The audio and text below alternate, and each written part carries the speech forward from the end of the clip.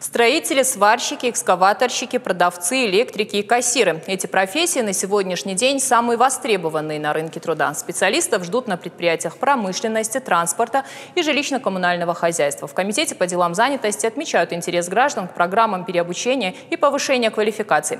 Это позволило в текущем году снизить уровень безработицы в республике на несколько позиций. В помощь безработным и ярмарки вакансий. С начала года работу смогли найти более полутора тысяч человек. Между тем, граждан, ищу, ищущих работу, почти 6 тысяч человек. Совпадают ли спрос и предложения и какие еще программы и действенные механизмы направлены на решение проблемы? Ответы на эти вопросы искала моя коллега Карина Гигалаева. Сегодня она у нас в студии. Карин, расскажи, пожалуйста, реально ли есть тенденция к снижению числа безработных граждан?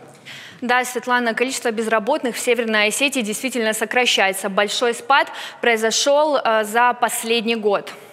Так, численность зарегистрированных безработных в комитете на конец сентября составила почти 6 тысяч человек, что на тысячу меньше по сравнению с аналогичным периодом прошлого года.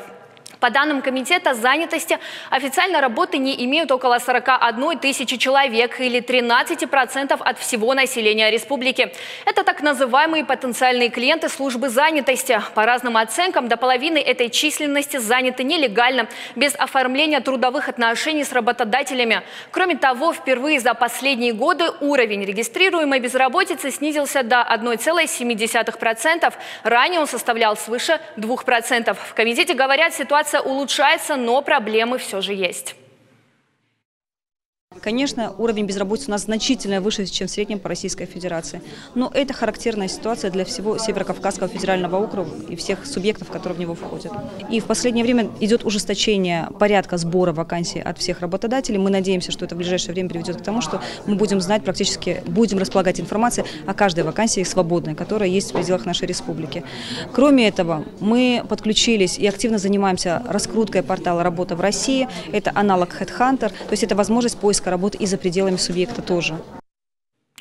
За последние 9 месяцев работодатели открыли больше 8,5 тысяч вакансий, из которых 50% рабочие специальности. За это время комитету удалось трудоустроить 1669 человек. Один из инструментов поиска работы – ярмарка вакансий. Она проходит в каждом районе республики в формате живого диалога работодателя с соискателями. Как правило, на ярмарке открыто несколько десятков вакансий абсолютно разных направлений. Давайте послушаем, какие профессии самые востребованные данные?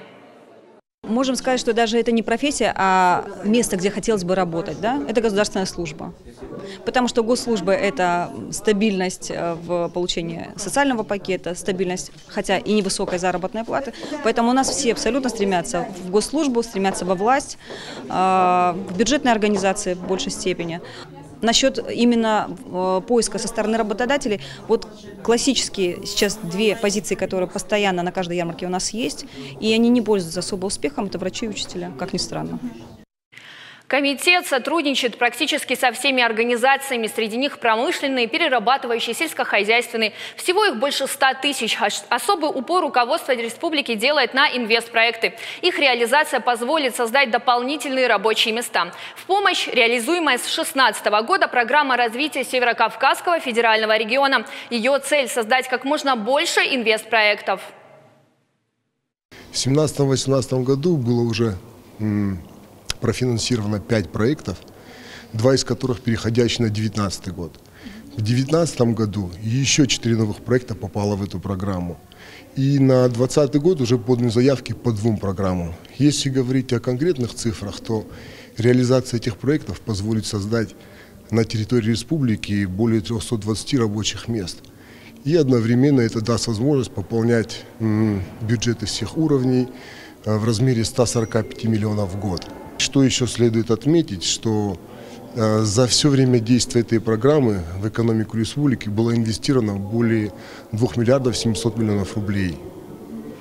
Из них бюджетные только 950 миллионов, остальные это привлеченные средства числе пяти профинансированных проектов строительства туристического комплекса с гостиницей на 50 номеров в Куртатинском ущелье, закладка интенсивного сада на 122 гектара и строительство фруктохранилища на 5000 тонн, создание комплекса по приемке, хранению и первичной переработке зерна, организация производства колбасной и пельменной продукции.